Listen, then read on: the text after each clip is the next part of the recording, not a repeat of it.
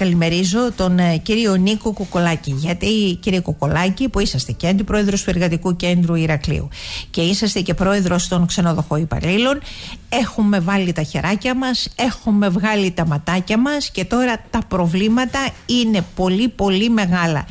Πού είναι το Υπουργείο Εργασίας, πού είναι το Υπουργείο Τουρισμού, είναι ερωτήσεις ε, που τίθενται πολύ πολύ συχνά και από τους ξενοδοχούς υπαλλήλους, πού είναι το Υπουργείο Εργασίας. Είναι πολλά τα συναρμόδια υπουργεία τα οποία θα έπρεπε να έχουν ήδη σκύψει και θα έπρεπε ήδη να έχουν λύσει θέματα και προβλήματα για να μην ευημερούν μόνο οι αριθμοί γιατί στο τέλος δεν ξέρω αν θα έχουμε και αυτούς τους αριθμούς. Καλημέρα σας. Καλημέρα και σας και στους ακροατές σας και στους καλεσμένους από τις υπόλοιπες πόλεις της Κρήτης. Πραγματικά όπως θα είπατε είναι εγώ θα θέσω ευθύς το ερώτημα και θα πω για ποιο λόγο ένας νέος άνθρωπος να πάει να εργαστεί στα ξενοδοχεία. Όταν πριν 10-15 χρόνια είχαμε πολύ καλύτερους μισθούς, πολύ καλύτερες συνθήκες εργασίας, είχαμε πραγματικά ένα ασφαλιστικό ταμείο που μας πρόσφερε τόσο στην υγεία αλλά και το εφάπαξ που παίρναμε τότε στην 20 ετία βλέπουμε ότι υπάρχει υπερτουρισμός που αυτό σημαίνει λόγω έλλειψης εργατικού δυναμικού εντατικοποίησης στους χώρους εργασίας. Γι' αυτό φεύγουν και οι, οι εργαζόμενοι ειδικά και οι παλιοί και οι νέοι προσπαθώντας να βρουν ε, άλλους χώρους εργασίας ή και ένα μεγάλο ποσοστό φεύγει στο εξωτερικό. Εμείς λοιπόν από χρόνια ε, κρούουμε το καμπανάκι του κινδύνου ότι αν δεν πάρθουν μέτρα δεν θα υπάρχουν εργαζόμενοι στον επιστημισμό και στον τουρισμό γενικότερα. Το βλέπουμε αυτό να επιδεινώνεται. Βλέπουμε την κυβέρνηση, τα συναρμόδια υπουργεία να κοφεύγουν και να σφυρίζουν κλέφτικα και να μην τους ενδιαφέρει μόνο ο, να κάνουν ευχολόγια και τίποτα περισσότερο. Εμείς θέλουμε πραγματικά μέτρα στήριξης των εποχικών εργαζομένων. Γιατί ε, και βλέπουμε και η εκπαίδευση. Η εκπαίδευση να, να μπουν νέα παιδιά στον τουρισμό και να σπιδάξουν αυτό το επάγγελμα, το επάγγελμα της εστιατορικής τέχνης, της μαγειρικής, της φιλοξενίας. Θα μπορούσαμε να είχαμε πανεπιστήμια εδώ πέρα και να εκπαιδεύουμε πραγματικά και άλλους ανθρώπους από άλλα κράτη γιατί έχουμε, έχουμε πιστεύουμε και την κουλτούρα, έχουμε τον πολιτισμό, έχουμε να αναδείξουμε πάρα πολλά πράγματα, την κριτική φιλοξενία, την κριτική κουζίνα και δυστυχώς η χώρα μας ως μεγαλύτερος τουριστικός προορισμός παγκοσμίως, ο νομός Ηρακλείου, Κρήτη γενικότερα δεν έχει αυτό που θα έπρεπε να έχει γενικότερα ο τουρισμός και γενικότερα οι άνθρωποι του τουρισμού. Mm. Επαναπαυόμαστε για άλλη μια φορά. Αέρας θάλασσα, ε; ουρανός και θάλασσα. Και τίποτα περισσότερο κύριε Κοκολάκη. Αυτό ουσιαστικά μου λέτε γιατί βάλατε στο τραπέζι όλα και είναι τα μεγάλα που ταλαιπωρούν. Και να σας πω κάτι δεν είναι μόνο οι νέοι άνθρωποι οι οποίοι δεν επιλέγουν εάν έχουν έστω και για μια, μια πολύ μικρή εμπειρία στο χώρο του τουρισμού ένα μήνα, δύο μήνες ή μία σεζόν είναι και οι παλιότεροι μέσα από το χώρο οι οποίοι αλλάζουν επαγγελματική σταδιοδρομία, αλλάζουν το δικό τους το χώρο γιατί πραγματικά δεν είναι τα καλύτερα δυνατά αυτά που συμβαίνουν. Νομίζω, Ταμείο Ενεργείας, όπως ε, είναι το μεγάλο ζητούμενο, είναι οι εργασιακές σχέσεις, ε, είναι η μισθή, είναι το εφάπαξ, είναι ε, τα, τα ταμεία και η ασφάλιση. Όλα αυτά παίζουν και κυρίως η εξειδίκευση παίζουν πολύ πολύ μεγάλο, λόγο, ε, μεγάλο ρόλο εκτός εκτός κύριε Κουκολάκη επειδή το έχετε πει στο παρελθόν πάρα πολλές φορές και αν το μεγάλο ζητούμενο είναι εργατικά χέρια με μηδαμινή εκπαίδευση ε, βοηθητικά χέρια με όσους έχουν εναπομείνει από τρίτες χώρες. Δεν ξέρω πώς αλλιώς να το θέσω, εκτός αν είναι αυτό το σενάριο που παίζεται και είναι αυτό που με τον καλύτερο δυνατό τρόπο επιχειρούν να περάσουν. Αλλιώς δεν εξηγούνται όλα τούτα εδώ. Ακούστε να δείτε, εμείς βλέπουμε καθημερινά, όπως το είπατε, ανθρώπους με εμπειρία να φεύγουν από το χώρο το ξενοδοχείο. Και θα σας πω και ένα χαρακτηριστικό παράδειγμα, γιατί αυτό που θα σας πω συμβαίνει καθημερινά. Εχθές με παίρνει μια κυρία, χρόνια εμπειρία, στην κουζίνα τουλάχιστον μια δεκαετία και μου λέει πρόεδρε ε, μπορεί να παίρνω κάποια καλά χρήματα, παίρνω καλά χρήματα, δουλεύω μου κάνει έξι μήνες. Εγώ τώρα βρήκα μια δουλειά μόνιμη και συγκεκριμένα μου είπε θα δουλέψω σε μια μπουτίκ χειμώνα καλοκαίρι για να μπορώ να έχω την ασφάλεια και τη σιγουριά του μόνιμου μισθού. Θέλουμε λοιπόν, ε, ε, υπάρχει ανασφάλεια στον κόσμο. Εάν αυτοί λοιπόν ε, όλοι οι, οι, οι, τα συναρμόδια υπουργεία, η κυβέρνηση δεν πάρουν αυτά τα μέτρα, πραγματικά θέλουν να φέρουν ξένους ανθρώπους, ξένους εργαζόμενους από τις τρίτες χώρες που αυτοί οι άνθρωποι καλώς να έρθουν αλλά δεν έχουν αυτά τα ποιοτικά χαρακτηριστικά, δεν έχουν αυτές τις τεχνικές ικανότητες.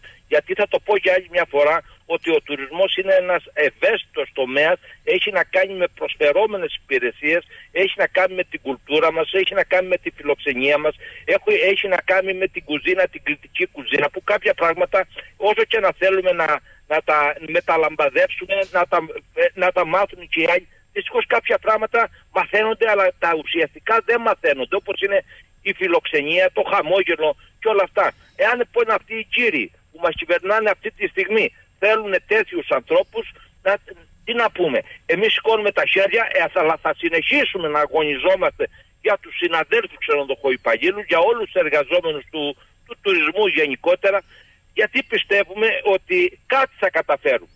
Εμείς πραγματικά κάνουμε καθημερινές παρεμβάσεις τόσο στα Υπουργεία, γι' αυτό και καλούμε και τον κόσμο 17 του Απρίλη να κατέβει στους δρόμους 10 η ώρα στο εργατικό κέντρο βλέπουμε ότι δεν υπάρχουν συλλογικές συμβάσεις σε όλους τους χώρους των εργαζομένων. Καλύπτονται ελάχιστα πανελλαδικά, καλύπτεται κάπου το 25% με συλλογικές συμβάσεις εργασίας σε μια δύσκολη εποχή που το ράλι της ακρίβειας, τα προϊόντα ευρείας κατανάλωσης στο ενίκιο καλπάζει καθημερινές ανατιμήσεις. Βλέπουμε λοιπόν μια καθημερινή υποβάθμιση των μισθών των εργαζομένων βλέπουμε τις κοινωνικές ανισότητες, οικονομικές ανισότητες, βλέπουμε πόσο δύσκολο τα βγάνει η μέση οικογένεια.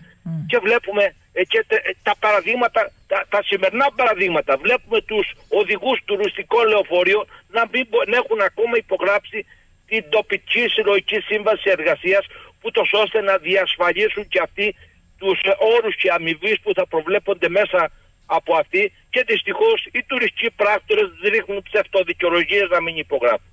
Αυτό το τουρισμό θέλουμε. Κύριε Κοκολάκη, πιστεύετε ότι όλο αυτό κάπου παρακάτω θα το πληρώσουμε; Ε, ούτως ή άλλως το είχετε πει ε, πολλάκις ε, και εσείς ε, και προηγούμενοι ότι ξέρετε η, η συνεχής εκπαίδευση ή η διαβίου μάθηση ή εκείνα τα σεμινάρια που παλιά λέγαμε ότι κάνατε ως ξενοδοχό υπάλληλοι ε, και επικαιροποιώ τις γνώσεις μου και φτιάχνω πράγματα και μαθαίνω τους καινούριους τα οποία έχουν σταματήσει πια ε, και από τη μία και από τη μία πλευρά για γιατί δεν υπάρχει η δυνατότητα να γίνεται αυτό. Ε, αυτή η διαβίου μάθηση λοιπόν έχει σταματήσει. Ε, οι σχολές ξέρουμε ποια είναι η κατάσταση που υπάρχει αυτή την ώρα. Πιστεύετε ότι αυτό θα το βρούμε μπροστά μας και θα το βρει η πολιτεία μπροστά της; Γιατί δεν ξεχνάμε και τι αφήνει όλη αυτή η κίνηση, η τουριστική κίνηση στα έσοδα του κράτους. Σίγουρα πρέπει να πούμε ότι ο τουρισμός προσφέρει στο ΑΕΠ του κράτους περίπου το 11,5% άρα συμβάλλει ε, πάρα, πάρα πολύ σε μεγάλο ποσοστό στο ΑΕΠ της χώρας. Από εκεί ήδη τα βλέπουμε μπροστά μας, πιστεύουμε εμείς. Ε, βλέπουμε γιατί ξέρετε πολύ καλά όταν ε, έρχονται οι επισκέπτες συμπληρώνουν τα λεγόμενα ερωτηματολόγια. Βλέπουμε λοιπόν ότι αυτά τα ερωτηματολόγια χρόνο με το χρόνο οι βαθμολογίες πέφτουν όσον αφορά την εξυπηρέτηση τόσο στα δωμάτια, σε θέματα καθαριότητας, επίσης σε θέματα σέρβις και όλα αυτά. Γιατί, γιατί ο κάθε επισκέπτης που έρχεται εδώ στη χώρα μας θέλει πραγματικά να έχει αυτό το ποιοτικό μα ο κάθε, μα, μα, ο κάθε, μα, μισό λεπτό, μισό λεπτό. Ο καθένας από εμάς όταν πληρώνει και χρυσοπληρώνει, αυτό το οποίο θέλει είναι να έχει και ποιοτικές υπηρεσίες. Και δεν έχει να κάνει με τη μη εξυπηρέτησή του, επειδή κάποιος δεν θέλει να εξυπηρετήσει, είναι κακός εργαζόμενος. Αλλά δεν μπορείς να έχεις ένα σερβιτόρο για 30 τραπέζια, δεν μπορείς να έχεις μία καμαριέρα με 20 δωμάτια και λίγα λέω, μπορεί να μου πείτε εσείς, και να μπορούν στην καθημερινότητά τους αυτοί οι άνθρωποι ως εργαζόμενοι να τα καταφέρουν. Να με συγχωρείτε δηλαδή, αλλά ό,τι και να πίνουν δεν μπορούν. Πέρσι, να φαντα... θα σας πω άλλο ένα παράδειγμα, επειδή σε επισκεφτόμαστε σαν διοίκηση τις ξενοδοχειακές επιχειρήσεις, κάνουμε μια επίσκεψη σε ένα ξενοδοχείο και εκείνη την ώρα την χάνει να ανοίγει το εστιατόριο. Μετρώ λοιπόν τους σερβιτόρους, ένα, δύο, εφτά, εφτά άτομα. Λέω πόσα άτομα ρε παιδιά θα τα είστε απόψε, ρωτώ το ΜΕΤ, λέει 1200. Λέω και είσαι 7 άτομα, λέει δεν βρίσκω προσωπικό. Καταλάβετε λοιπόν τα 7 άτομα σερβιτόροι αυτά, 7 σερβιτόροι να ταΐσουν 1200 άτομα. Το ίδιο συμβαίνει και με τις καματζέρες, το ίδιο συμβαίνει σε όλα τα πόστα, ε, είτε λέει είτε κουζίνα, ο μάγειρας, ο κάθε εργαζόμενος μάγειρας θέλει να προσφέρει ένα σωστό ποιοτικό φαγητό. Πάνω στην πίεση πάνω και ε, που, που, που πάει να εργαστεί γίνονται εργατικά ατυχήματα. Τα έχουμε δει στην πράξη. Όταν λέμε ότι πρέπει να υπάρχει εκπαιδευμένο και καταρτισμένο προσωπικό, αυτό εννοούμε. Βλέπουμε τις σχολές, όπως το είπατε, υποβάθμιση των σχολών τουριστικής εκπαίδευσης. Βλέπουμε φέτος ότι δεν λειτουργήσε η σχολή μετακπαίδευσης που, που, που είναι συνεχεία και πολλά χρόνια α, κάνουν μάθημα και μετακπαιδεύονται οι εργαζόμενοι εκείνοι που έχουν τουλάχιστον τρία χρόνια εμπειρία για να εμπλουτίσουν και τις ε, γνώσεις τους και να προσφέρουν ακόμα καλύτερα πράγματα και να παίρνουν και 10% παραπάνω στο μισθό τους. Άρα λοιπόν τι κάνουμε και πού πάμε, εκεί είναι το ερώτημα. Μάλιστα. Το τελευταίο που ρωτώ. Το παιδείας εμπλέκεται, το τουρισμό εμπλέκεται, το οικονομίας εμπλέκεται, το εργασίας εμπλέκεται. Πάρα πολλά η Υπουργεία σε ό,τι έχει να κάνει με τον ε, τουρισμό, με την τουριστική κίνηση. Αλήθεια, από όλους αυτούς ούτε ένας έχει καταλάβει ποιο είναι το πρόβλημα. Εγώ θα, θα, θα ενθυμίσω στον κόσμο ότι το 2022 το Σεπτέμβρη, 28 Σεπτεμβρίου είχαμε κάνει μια εκδήλωση, προσελκύσαμε τότε, ε, μάλλον ενδιαφέρθηκε ο ίδιος ο Πρωθυπουργός για τα προβλήματα, πήγαμε και τον είδαμε, μας είπε ότι θα μας έβλεπε και να του λέγαμε τα προβλήματα, δυστυχώς μέχρι και σήμερα δεν μας έχει δει. Δεν μας έχει δει ακόμα η νέα Υπουργός Εργασίας, η Δόμνα ή Μιχαηλίδου, να της πούμε τα προβλήματα που αντιμετωπίζουμε θα μου πείτε δεν τα ξέρουν, τα ξέρουν. Εμείς όμως πρέπει να τους τα επισημάνουμε. Το ίδιο συμβαίνει και με το Υπουργείο Τουρισμού με την κυρία Όλγα Κεφαλογιάννη. Υπάρχουν λοιπόν ε, θέματα και η κυβέρνηση, τα συναρμόδια Υπουργεία δυστυχώς ούτε καν μας ακούνε. Έτσι είναι το πρόβλημα. Παρά τις συνεχείς ε, παρεμβάσεις μας, παρά τις συνεχείς επιστολές μας που στέλνουμε σε αυτά τα Υπουργεία, ούτε απάντηση ούτε τίποτα. Εγώ κρατώ αυτό που είπατε ε, κύριε Κοκολάκη ότι ξέρετε με βάση τα ερωτηματολόγια ε, τα οποία συμπληρώνουν οι ξένοι επισκέπτες ε, φαίνεται ότι κάθε χρόνο που περνάει η βαθμολογία μας πηγαίνει προς τα κάτω αντί να πηγαίνει προς τα κάτω όταν λέμε ότι η βαριά μας βιομηχανία είναι ο τουρισμός, το κρατώ.